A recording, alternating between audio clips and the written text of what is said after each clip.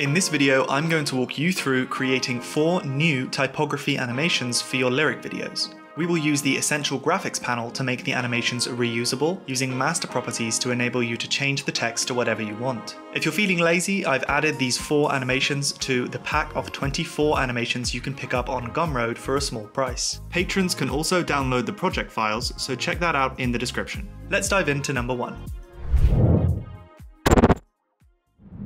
So we're just going to come to the type tool here and we're going to type ourselves out some text. So I'm just going to type Holmes motion and we're going to center this and let's increase the font size a bit and we're going to center it and let's set the anchor point to the middle of the text by holding control and double clicking the pan behind tool. Let's scale it up a bit more because we're going to be shrinking the text down later on in the animation we want the letters to fade in in a random order. So the way we're going to do that is we're going to twirl down the text layer here, click this animate button, select opacity, and down here you can see it's added an animator and a range selector. We'll take the opacity down to zero and we'll twirl down the range selector and now if we change the offset property, you can see it is fading the letters in from left to right. What we want is for the letters to fade in randomly. So we're going to twirl down advanced and we will select randomize order. Now if we come back up and we keyframe the offset and let's say one second later on the timeline, we keyframe it to 100%. So it's now going from 0 to 100% we want to change the easing so that it starts off really fast and ends really slow. So one way we can do this is to highlight our keyframes here, press F9, come to the graph editor, right click, make sure we're in the speed graph rather than the value graph. Click one of these handles, the one on the right, and move the handle so the shape looks more like this. And we can make it even more extreme by moving this handle to the left. And now it looks like this. Now we also want to animate the space between the letters or the tracking.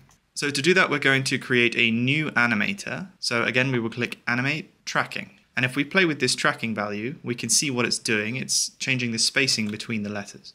So let's set a keyframe at one second for the standard tracking at zero. And let's go to earlier on, let's say 10 frames. Let's increase it to about five.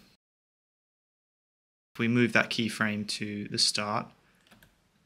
Now this is too smooth for me. So what I'm actually going to do is highlight these keyframes, right click and press toggle hold keyframes. This means the values won't smoothly interpolate, they will just change instantly from one to the other. And now what I'll do is at 10 frames, I will put a new keyframe of 4. At 20 keyframes, I will put a keyframe of 2. And then we have something like this. Let's change the position of some of these keyframes. I'm going to move them more to the right, so it starts a bit later. And then at one second, I'm going to place a scale keyframe, and about 10 frames later, we will scale it down, and we will also add some easing for these keyframes. So we'll press F9, and we will change the curve to be like this. Let's bring our keyframe to about 2 seconds and press N on the keyboard to set our endpoint for the work area, and let's play the animation. It's looking pretty good. I just want to add some more detail to the background. So the way we can do this is duplicate our text layer, bring it behind, highlight the keyframes so that we're changing both at once, and scale it up really big. And for this layer, we will, in the text panel, disable the fill and enable the stroke. And I'm going to set the stroke value to about 0.2. We should decrease the opacity of the text in the background to about 30% and then we have this. So for this one, we're starting off with a text layer that is centered and has a centered anchor point. We will twirl down the text layer, we will click animate, and we will click scale. And if we increase this scale parameter, you can see that it's scaling up each individual letter. And if we modify the offset value, we can control which letters it's scaling up. Because it's scaling up each individual letter, we also need to increase the space between the letters. So what we can do is click add on the existing animator that we just added, click property and tracking. And if we then change the tracking to something that looks good, let's say 50, and then we change the offset, it is going to increase the spacing between the letters at the same time that it scales them. So let's create a keyframe for the offset of the range selector and let's set it to 100% at 10 frames and 0% at 0 frames. Increase the length of it a bit and we want to add some easing. So again, F9, come to the curve editor and we want it to start off fast and finish slow. And let's increase the duration again. So we will decrease the scale a little bit and what we will do is add some more interest to the background by duplicating our text layer. Again, bringing it below, changing it to just have stroke and no fill. And we will scale it up a lot. Let's scale it up even more and bring it up a bit. And we have something like this. Let's make the scaling much more extreme. So for this scale property, let's pump it up so it's much bigger and increase the tracking as well. And then we have something like this. For this next example, we're going to add two different range selectors, one for the letters and one for the words. So we will twirl down our text layer here and we will click animate and opacity. We will set the opacity to 0% and twirl down the range selector and then we can keyframe the offset value which just kind of controls the opacity from left to right. And we will set an offset keyframe at 0 seconds for 0% and at one seconds, we will set a keyframe for 100%. And then we have this.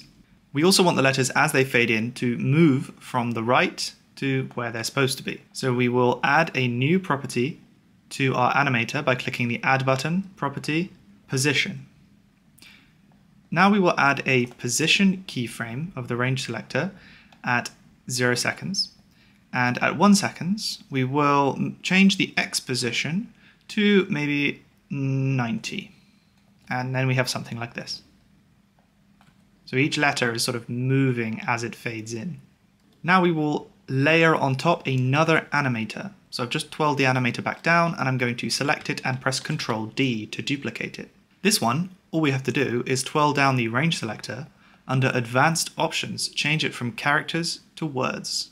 And then each word is animating from the right and each letter is also animating in from the right. Let's make the word animator a bit more extreme. So we'll come to one second and increase the X position to something much higher. You can play around with those values as you like. Now we will twirl down the text layer and we will duplicate it. We basically want to have two text layers side by side, so we just need to change the scale on these guys until they can both fit on the screen. If you want help positioning them correctly, you can toggle the title slash action safe. And now we can position them using these lines. We also want to add a little bit of leeway if we want to add longer text. So maybe let's go for 50% on the scale but you can just play around with the scale and or the font size to get it correct. And then both of our text elements will animate in. We want to fill some of this space on the top and bottom, which is quite empty. So what we'll do is we will duplicate one of our text layers, bring it down and disable the fill and enable the stroke, and then scale these up to a really big size and make sure they're centered. So I'll just use the align panel to center them and do the same at the top and we have something like this. For the next example, we want to duplicate our starting text layer, and we will call one of them stroke and one of them fill. As you probably guessed, for the stroke layer, we're going to disable the fill and enable the stroke. And you can see, if I move it, the stroke is there. Let's move it back to the center. Let's come to our rectangle tool. Make sure we've deselected our text layers and create a big rectangle something like this. We're going to use this as a mask, so let's rename the layer to mask.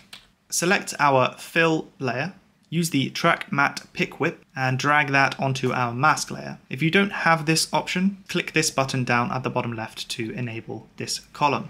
If we move the mask, you can see what it's doing. Wherever the mask is present, it will show the fill text. So let's move it sort of halfway down and we're going to add an effect to it if you search for wave warp and add that to your mask, it's going to create this cool little wavy effect. You can play around with the options to your own satisfaction. I'm going to increase the width of the wave, something like this, And you can also play around with the height and the speed of the wave, but I'm probably going to leave it as it is. Next, we're going to add a keyframe for the mask at one seconds, a position keyframe. And then slightly after, we will just drag it down so the whole text is visible. Let's change the easing on this so it starts slow and ends fast. Because I've already showed you how to use the easing graph, um, I'm actually going to now use a plugin to do it. This is the Motion plugin. Um, I'll have a link in the description if you're interested. But one of the things it does is it provides a shortcut for changing your easing graphs. So I'm going to use this from now on in the video, but you can do it the manual way like we've done before. So we want it to start slow and finish fast. Now we're going to duplicate our stroke layer four times. Let's highlight these and change the label color to any other color and drag them below. Now we're going to hand position them a bit below and increase the distance each time so they start off close together and gradually get further apart. Now highlight them, press P and add a position keyframe and drag the playhead back to the first keyframe of the mask and use the align tool to bring them back to the center of the composition. We actually want this animation to start on the final frame of the mask animation. So we're going to drag the keyframes forward a bit. And we're also going to change the easing on these guys so that it starts fast and ends slow, which gives us this. Let's drag them back a few frames. And I will also set the starting position of these layers by positioning my playhead at the first keyframe, holding Alt and pressing the open square bracket. And now you can sort of see the momentum of the wave coming down is carried forward into these stroke layers that go below. But now the top half of the composition is a bit empty. It feels a bit off balance. So what we're, what we're going to do is create a null layer by coming to Layer, New, Null Object, make sure it's centered. And we're going to parent everything to the null layer. So pressing Control A, just deselecting the null layer itself, and then pick whipping the parent. Now we will add a position keyframe for the null on the same keyframes as below, one before the animation starts, and then one at the finishing point where we will drag it up. We want to make sure that the easing is the same on this null. So we will highlight these keyframes and again, make it start fast and finish slow. And then we have this. So once we've finished our animations, we want to make them configurable. The way we're going to do that is to, by using the Essential Graphics panel. So if you come to Window and select Essential Graphics, it will open this window. And in the drop-down, you want to select the composition that you currently have open. Essentially, what we want to do is drag into this window any properties that we want to be configurable from outside this composition.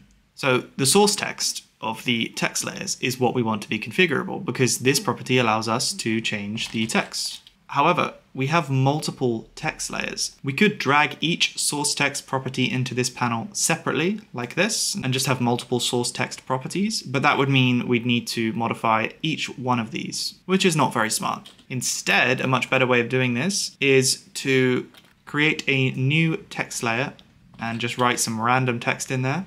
Let's rename this to master text. And what we will do is twirl down the source text property for each of these layers. And we're going to pick whip the source text of all of our text layers to this master text source text property. And this means that they will all be equal to whatever the master text source text is. Using this pick whip has essentially added a little expression in here.